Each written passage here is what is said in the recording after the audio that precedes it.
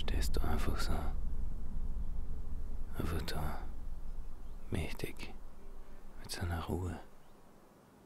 Irgendwie schön. Ja, grüß Gott. Herzlich willkommen bei uns. Wie kann ich helfen? Was gut. Bitte. Ich habe einen Freund, mit dem würde ich gern etwas schenken, weil der hat da so ein Modelleisenbahn. Ich habe aber nur 20 Euro. Gleis eine mit Prellboxer. Ja, danke. Gern. Ali. Ali. Ich hab dir das so oft gesagt. Schau, es geht nicht mit der Kundschaft. Du fährst nach Alkohol. Das ist ein Kundenservice, du. Entschuldigung. Ja. Verdammt, sei mir mal ehrlich, deinen Namen. Ich hab so eigenartige Zustände. So. Ich weiß gar nicht, wie ich das beschreiben soll. Das ist, das ist wie. Als würde ich nicht mehr ich selbst sein muss. Da wird große Angst. Eins, zwei,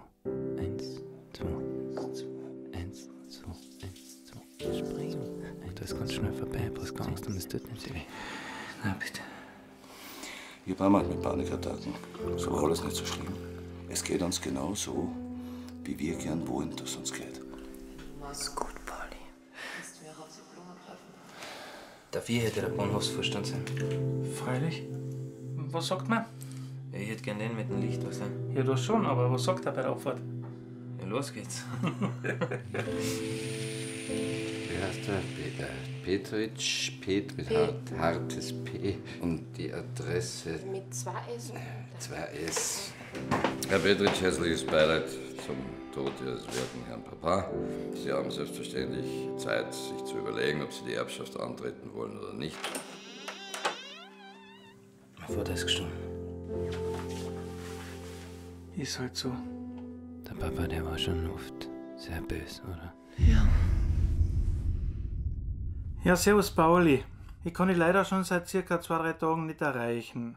Wäre fein von dir zu hören. Okay, also, ich warte auf deinen Anruf.